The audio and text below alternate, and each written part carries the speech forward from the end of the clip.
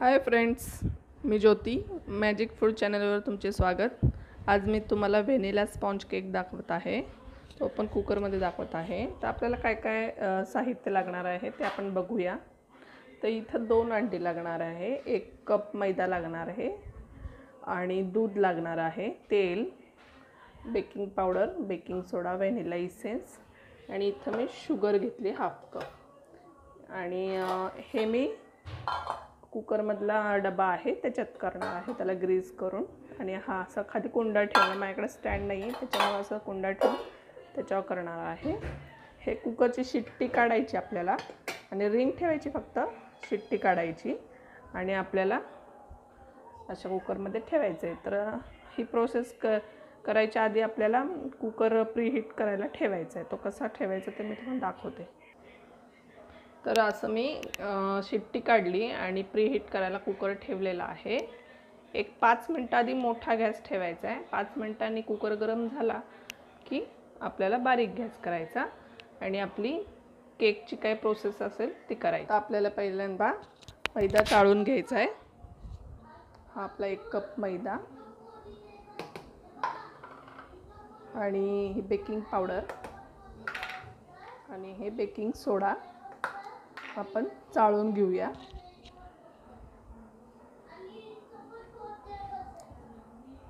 ते आपण सगळं बेकिंग पावडर बेकिंग सोडा टाकला आहे ना ते असं मिक्स करून साईडला ठेवून द्यायचं आहे आपल्याला.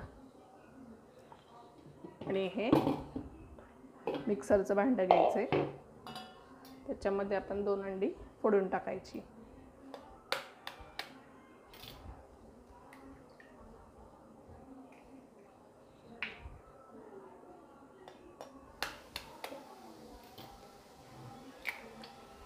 हे आपल्याला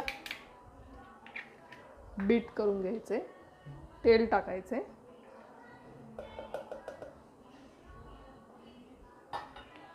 आणि हे हाफ कप पावडर शुगर करून घेतलेली ती पण ह्याच्यात टाकायची सगळी. आणि हे चांगलं दोन मिनटं बीट करून घ्यायचे हे सगळं मिक्सरमध्ये आपल्याला. तुम्हाला मी मिक्सरमध्ये करते आणि दाखवते कसं होते ते. हे ना हे बघा असं झालं बीट केलेलं मी. अंडं साखर आणि तेल.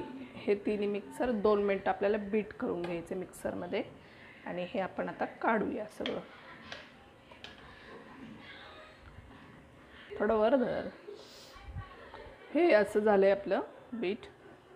तर आता आपण हे हा मैदा बेकिंग पावडर बेकिंग सोडा चाळून घेतलेला. हा थोडा थोडा घालायचा एक दोन दोन एक एक चमचा.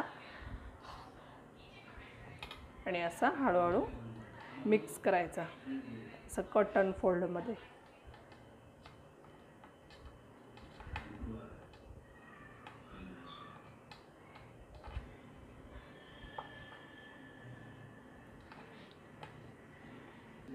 हे असं सगळं मिक्स केलं आहे मी.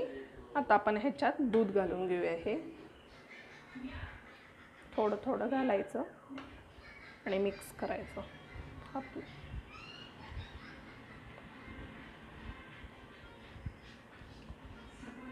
हे थोडं थोडं असं घालत जायचं दूध. तर मला चमच्याने सोप्पा पडत असून त्याने केलं तरी चालेल.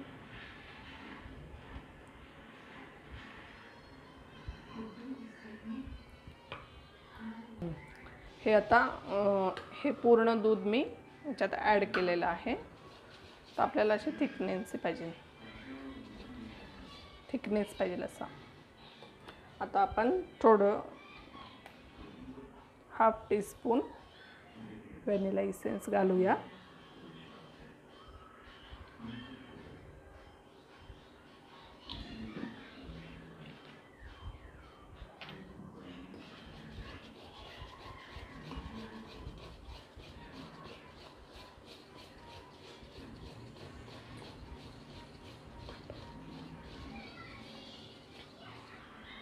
आता आपलं बॅटर पूर्ण मिक्स झालेलं आहे. छान असं स्मूथ झालं एकदम.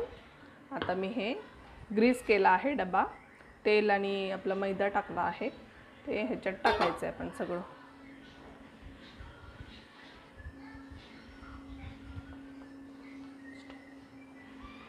तर हा कुकरमध्ये ठेवते.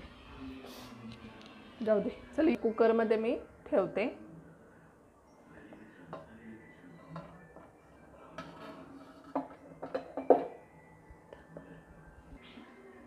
हे असं मी कुकरमध्ये ठेवलं आहे. एकदम लो गॅस का मी हे कुकरचं झाकण उघडले.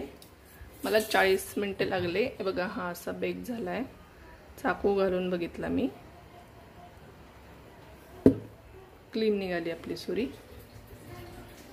मला आणि हा पंचेचाळीस मिनटानंतर गॅस आपण ऑफ करायचा आणि पंधरा मिनटं झाकून तसंच ठेवायचा नंतर काढायचा. पूर्ण थंड झाल्याशिवाय डिमोल्ड नाही करायचं. आता मी तुम्हाला कुकरवरून पंचेचाळीस मिनटानंतर कुकर गॅस बंद करायचा आणि झाकण पंधरा मिनटं तसंच ठेवायचं आपण.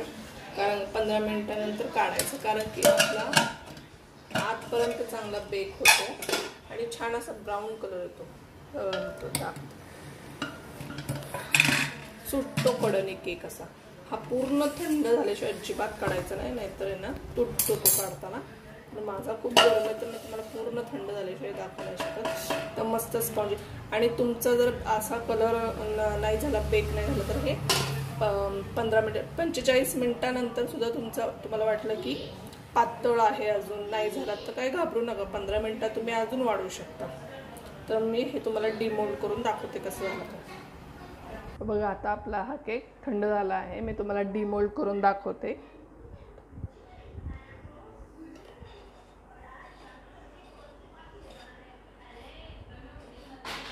तुम्हाला जर काही प्रॉब्लेम असेल करताना वगैरे तुम्ही मला कमेंट करून पण सांगू शकता.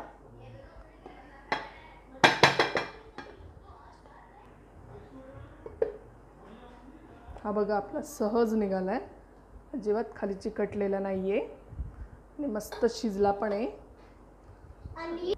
हे बघा आपला कसा मस्त केक फुगला आहे मस्त. ह्या पद्धतीने तुम्ही करा. तुम्हाला पण नक्की जमेल.